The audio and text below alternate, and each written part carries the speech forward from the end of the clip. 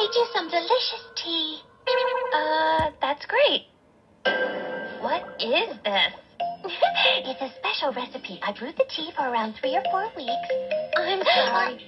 We're not really thirsty at all. Oh, why not? It won't hurt to give it a little.